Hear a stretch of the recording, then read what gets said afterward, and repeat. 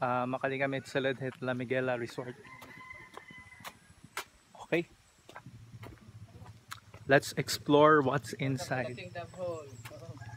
Welcome! So as you can see, uh, may dadida ako anda balay. Tamang balay. Tapos home. swimming pool uro nila. Alright. Okay, mga messenger. villa huts.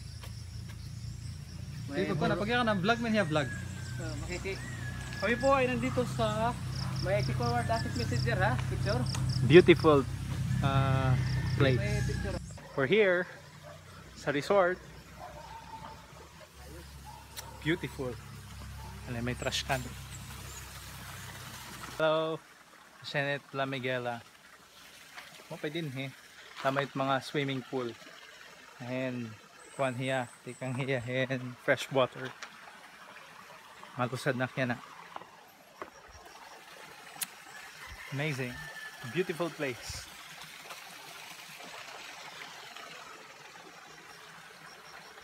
Moped landscape. See ya!